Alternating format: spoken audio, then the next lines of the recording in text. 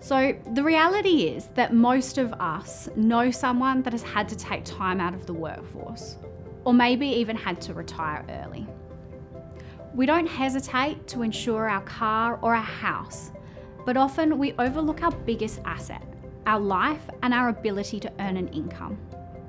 Although uncomfortable to think about, it is really important for us to consider the what ifs.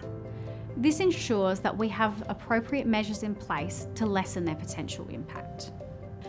There are generally four main types of cover available to you death, total and permanent disablement, income protection, and trauma insurance.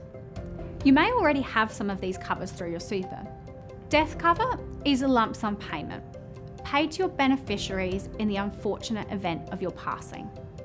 Total and permanent disablement is a lump sum payment that's paid to you in the event that something happens to you and you're not able to work again. Generally, for policies in your superannuation, this means never being able to return to the workforce again. But it is possible to get cover that would pay out if you can't work in your own job. Income protection is a monthly benefit that's paid to you on a temporary basis if you're sick or injured. Finally, trauma insurance or critical illness is there to provide a lump sum of money to help cover some of the immediate medical expenses or financial needs in the event that a critical illness or injury occurs, such as a heart attack or a cancer diagnosis. Having the right type of cover in place is really important so if you have some cover through your super, spend some time getting familiar with the details. If you're a statewide super member, make sure to review the insurance in your super booklet for further information.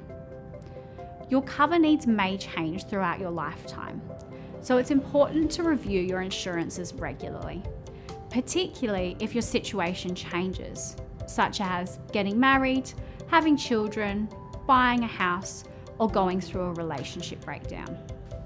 And if you do have a partner, make sure that they do the same. It's not the most pleasant chat, but it's important to have the discussion sooner rather than later.